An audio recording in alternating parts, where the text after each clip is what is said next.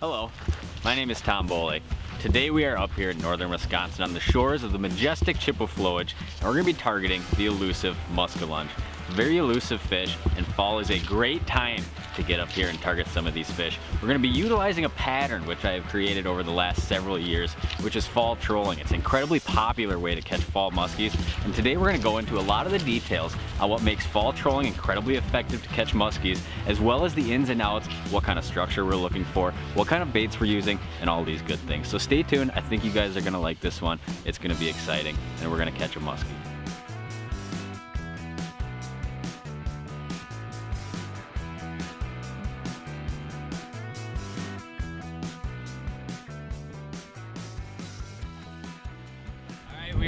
We are ready to fish. We are on the Chippewa flowage. We are targeting muskies. It is a windy fall day out, and uh, we're gonna start out, I believe, with a 10-inch jig. This guy right here, and we're gonna run a 13-inch Grandma as well.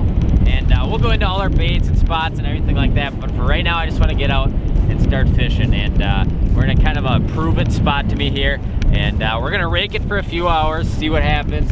And uh, you know, a lot of times you might end up side imaging fish, kind of going over them, maybe catching a fish, or you know, you kind of go through an area, there's not a lot of bait, there's you know, you're not seeing anything on side imaging, then you just kind of get out. But we'll just kind of play it by ear, drop some baits, and uh, we're gonna start trolling. We're probably gonna be trolling about three miles an hour, three and a half, somewhere right in there is gonna be a good speed. So I'm gonna shut up, let's get these baits wet, and start trolling.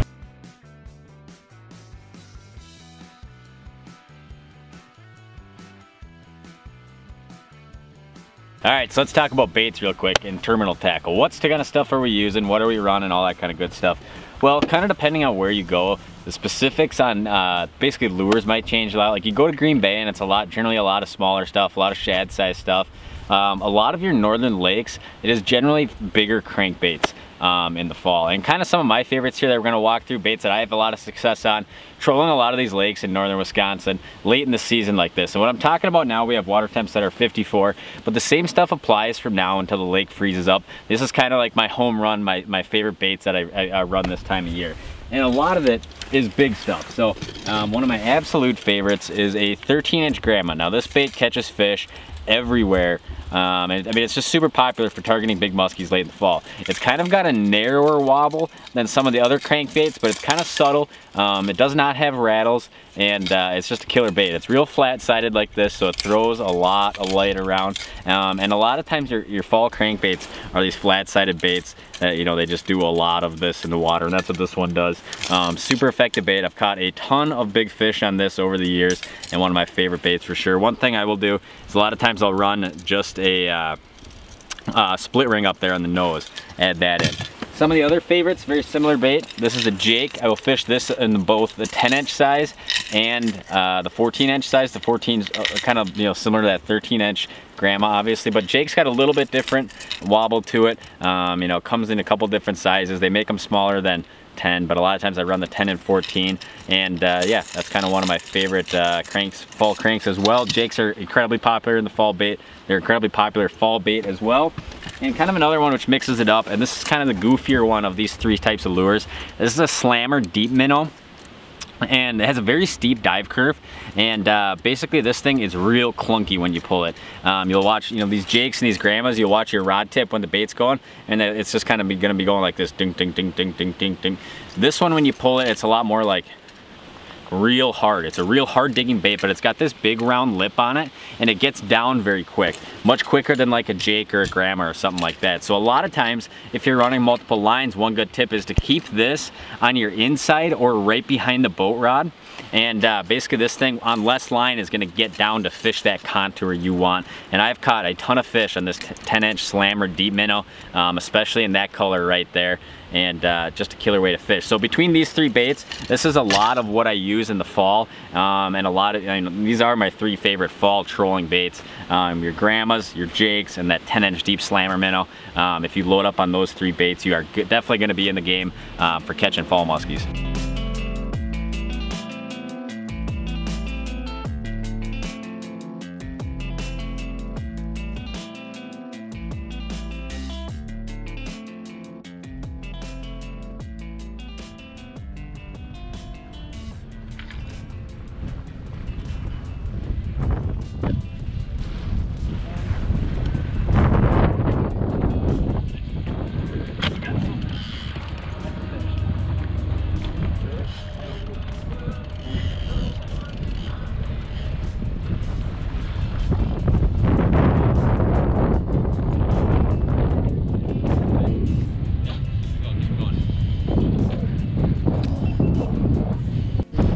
Right, guys, we are hooked up. First one of the day. I don't think he's super big. No, he's not big. Crazy wind. Keep him coming, Mitchell. And you're obviously gonna have to walk backwards for me. Man, that was a weird bite. It was like he popped it, and like whipped out to the side. Very strange. You want me to go in gear or just stay still? I think we got him.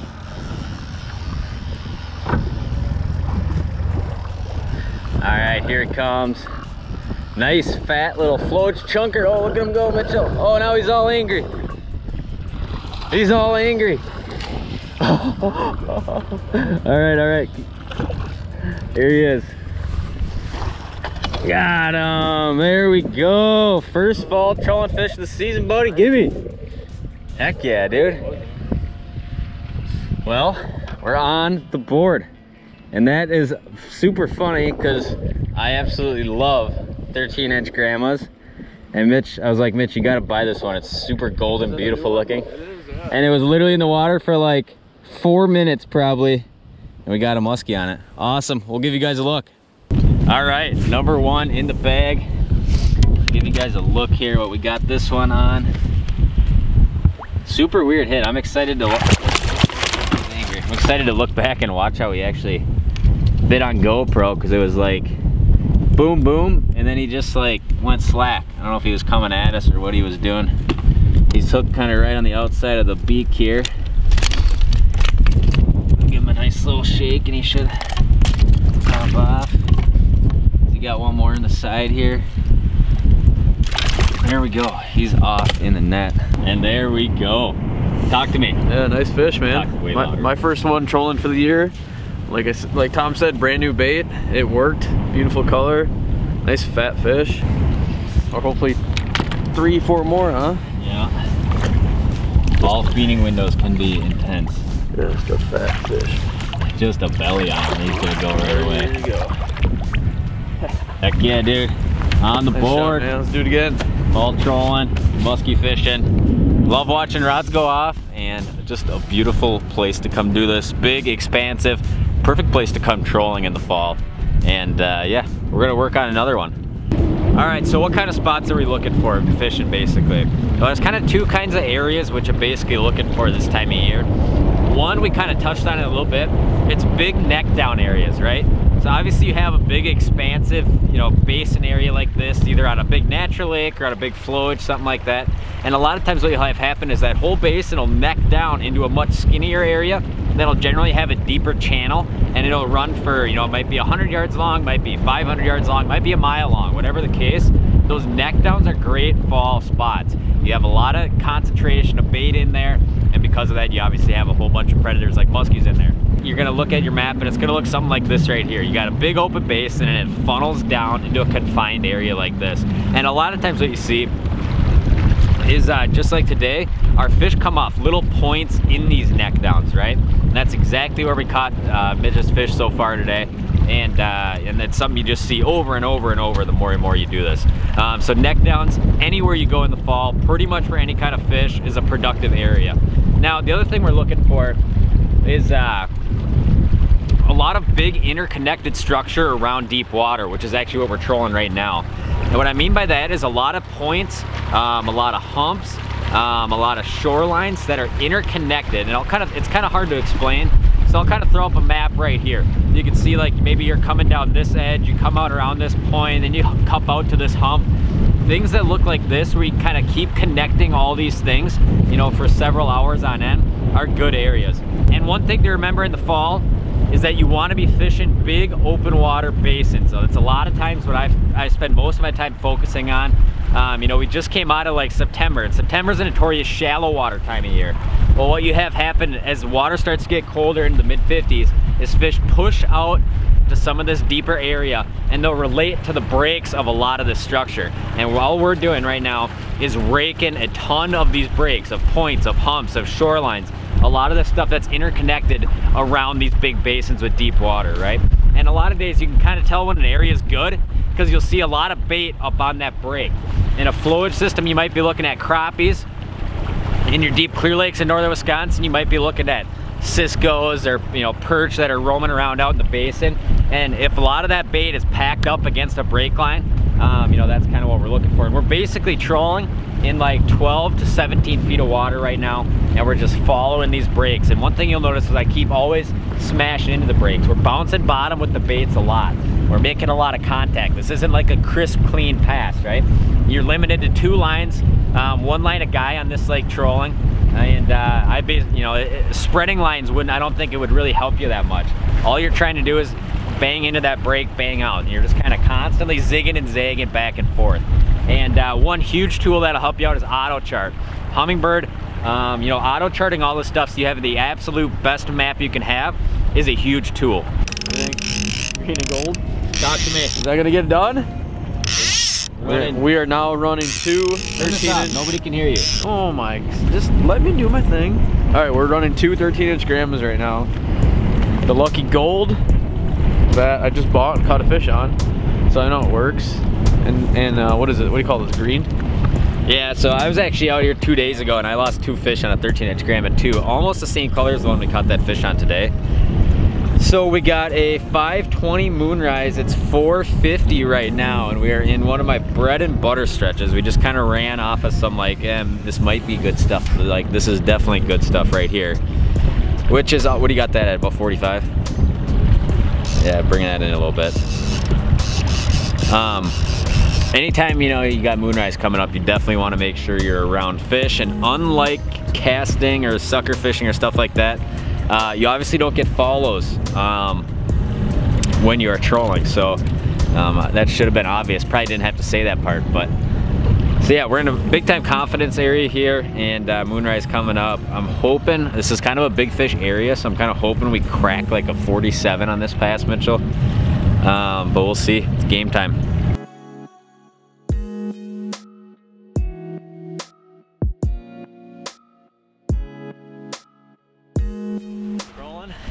Sir. All right, well, that is gonna do it for today's video. Unfortunately, we did not get a second shot, but even better than that, we got a shot and we capitalized on it, and Mitchell caught a nice chip of Chippewa muskie up here in the Hayward area. Um, fall trolling is a super effective way. Hopefully you guys kind of enjoyed watching this video. Um, it was kind of, we mainly kind of did it just to kind of give you guys some of the pointers and what I like to do. Um, none of this is set in stone like the rules or the law or anything. This is just how I like to do it. Um, and it definitely catches fish. We've been doing it for years and it's a great way to catch fish. And it pretty much works everywhere. Um, so if you're not sure, or you just want to get out and try a new technique this fall, definitely try some trolling. Plenty of time left. This is one of those techniques that's definitely best for me when the water temp like bottoms out. Uh, so once we start getting water temps like below 50 degree range and that 40 to freeze up is ideal time a lot of times. But uh, there's still kind of a mix of some fish a little bit shallow, some fish in between and some fish deep. So um, trolling's an effective way obviously just to cover a lot of water. So hopefully you guys enjoyed watching this video. I appreciate you guys watching. I'm not sure what we're gonna be doing next, um, but stay tuned for more content. If you're not yet, please subscribe. And if you made it all the way to the end of this video, uh, we have a cool new sweatshirt. I'll throw a picture up right here called Embrace the Suck musky Sweatshirt. Um, it's a saying that is kind of uh, notorious all over for a whole bunch of different things, but it's very fitting for musky fishing. Embrace the suck, go through the tough fishing, and uh, get the reward at the end of the tunnel. So I appreciate you guys watching. If you want to pick up that sweatshirt, I'll go ahead and link it down below, and uh, I appreciate that. We'll see you guys next time.